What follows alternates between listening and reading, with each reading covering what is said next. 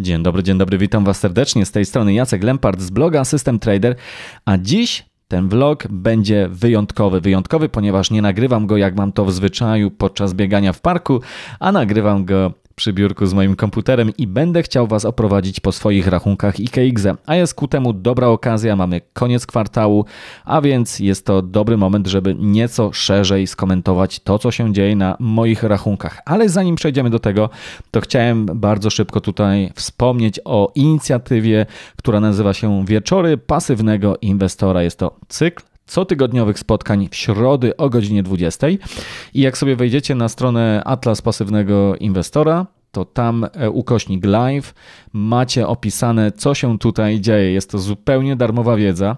Pierwsze nagranie z tej serii miało miejsce już w minioną środę. E, nagrywał to Michał Szafrański.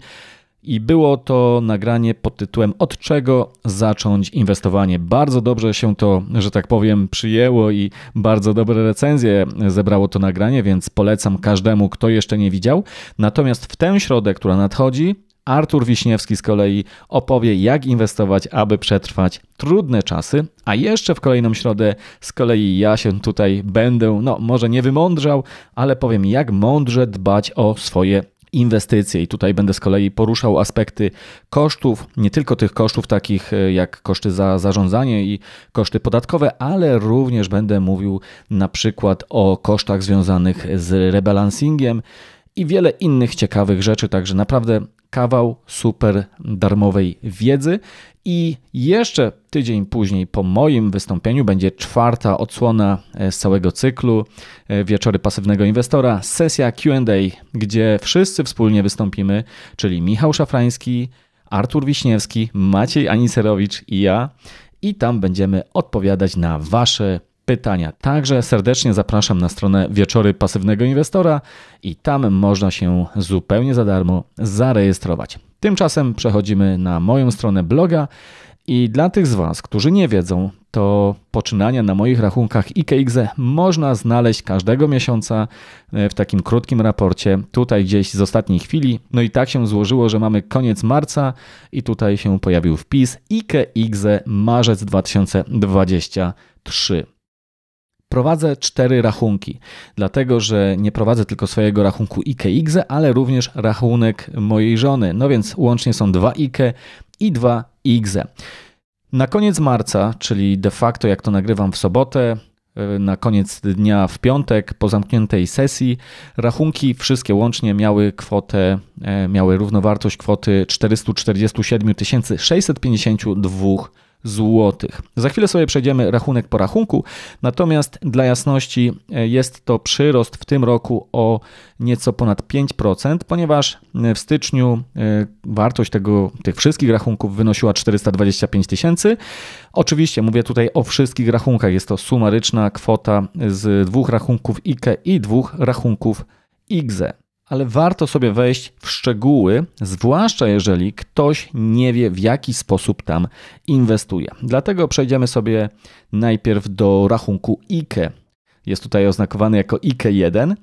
I jeżeli ktoś by się e, chciał tutaj nieco bardziej e, zmurzyć nad tym, jak inwestuje tam te pieniądze, to może sobie przeczytać artykuł, gdzie jest opisana strategia. E, I tutaj właśnie sobie otworzyłem ten artykuł, także można sobie wejść i przeczytać w szczegółach, na czym polega ta strategia. Ta strategia, chociaż e, wystartowałem z nią w zeszłym roku, mniej więcej pozostaje cały czas ta sama.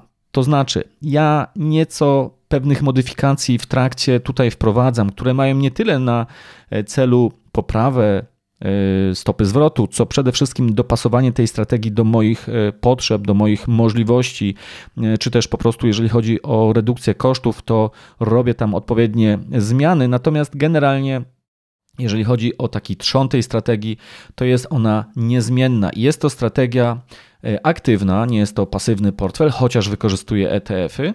I ten portfel, można powiedzieć, jest e, podzielony na dwie części. Tutaj sobie przejdę do takiego arkusza, który przygotowałem specjalnie na tę okazję.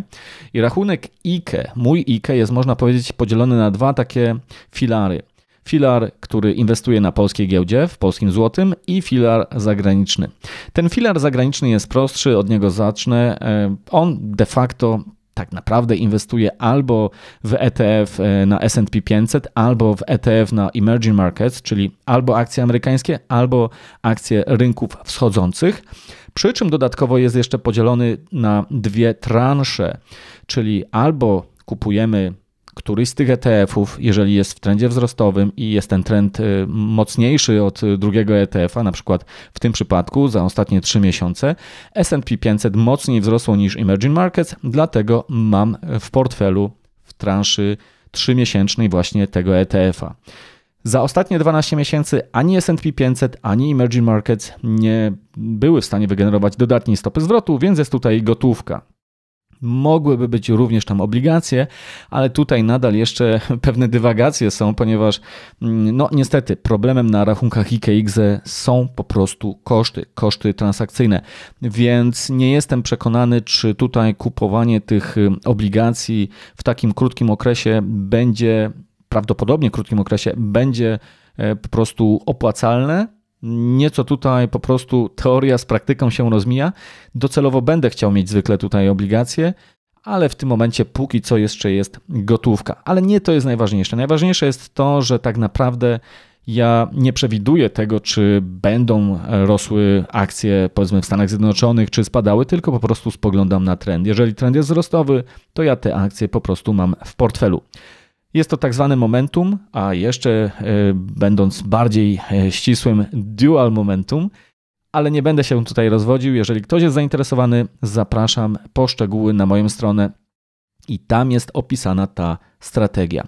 Bardzo podobnie działa to, jeżeli chodzi o polską giełdę, przy czym tutaj można powiedzieć, że jest ona podzielona na dwa podportfele.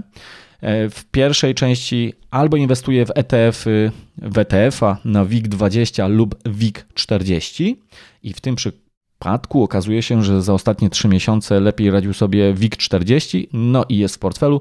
Za ostatnie 12 miesięcy ani WIG40, ani WIG20 niestety nie były w stanie wygenerować dodatniej stopy zwrotu, więc mam obligację TBSP. Jest na to również ETF. W części kolejnej jeżeli chodzi o polską giełdę, mam albo ETF-a na SWIG 80, czyli małe spółki, lub na tak zwany WIGTech. No ale okazuje się, że i za ostatnie 3 miesiące, i za ostatnie 12 miesięcy najlepiej radziły sobie małe spółki z SWIG 80, dlatego one są w portfelu.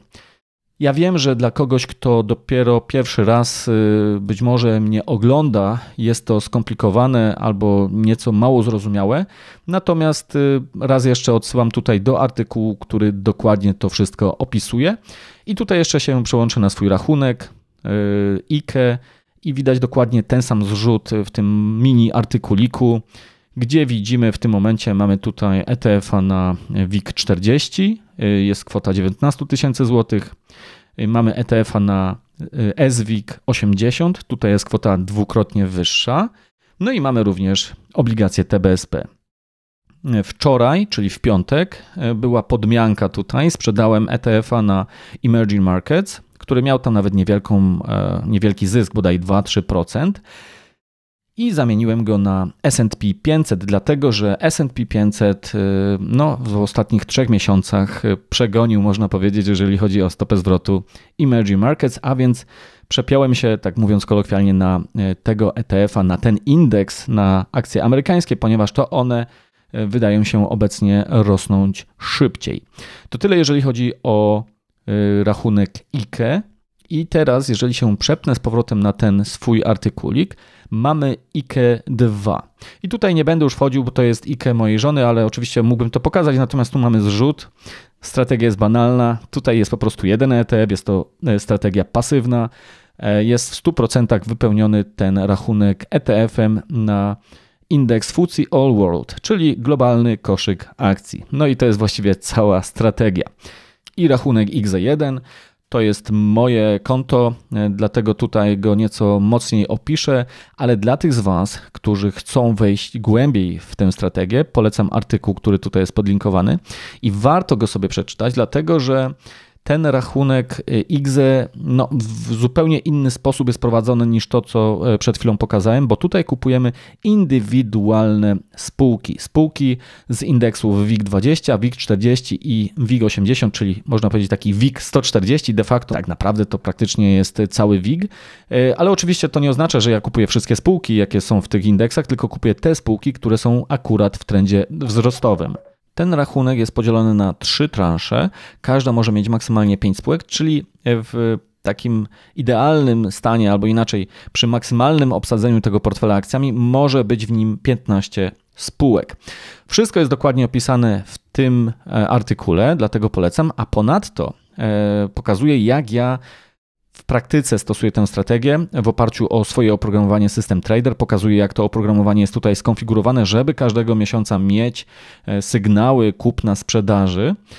I również jest historia portfela. E, historia portfela jest prowadzona za już nieco ponad dwa lata, od lutego 2021 roku, i tutaj widać każdego miesiąca aktualizację plus raporcik z tego, co się na tym rachunku e, dzieje.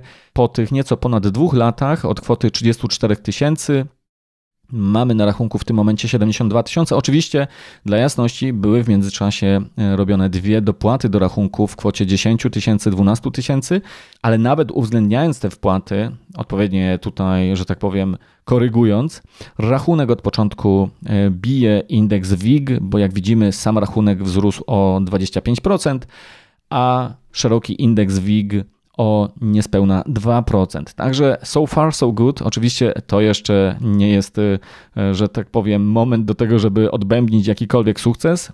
Tak naprawdę jest to długoterminowy portfel, który zamierzam prowadzić jeszcze przez ponad 20 lat. To tyle, jeżeli chodzi o rachunek IGZE.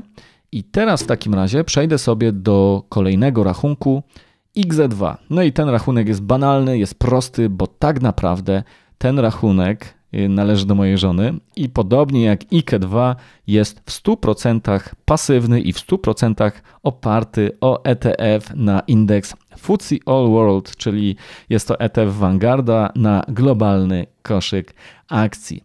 Tak to wygląda, jeżeli chodzi o moje zmagania na rachunkach IKEXE. Dla jasności, to nie jest absolutnie rekomendacja inwestycyjna. Każdy powinien świadomie dobrać własną strategię inwestycyjną. To, co chcę pokazać, to że na realnych pieniądzach po prostu buduję kapitał i zachęcam Was do tego, żeby w sposób rzetelny, odpowiedzialny podchodzić do inwestowania własnych, ciężko zarobionych pieniędzy i że nie trzeba być tutaj dogmatykiem, że tylko ten sposób jest dobry albo tamten sposób jest y, dobry. Natomiast to, co ja bardzo lubię, to podejście takie systemowe, systematyczne, czyli ja w gruncie rzeczy nie wiem, co rynek zrobi. Jak to mówi Tom Basso, e, taki znany inwestor amerykański, z którym notabene ostatnio rozmawiałem i będę niebawem publikował wywiad z nim. On zwykle mówi, że e, rynki zrobią to, co zrobią po prostu. My na to wpływu nie mamy. My mamy wpływ na swoje zachowanie. Powinniśmy mieć strategię i powinniśmy tę strategię realizować. To tyle z mojej strony. Serdecznie dziękuję za uwagę i do usłyszenia niebawem. Bye bye.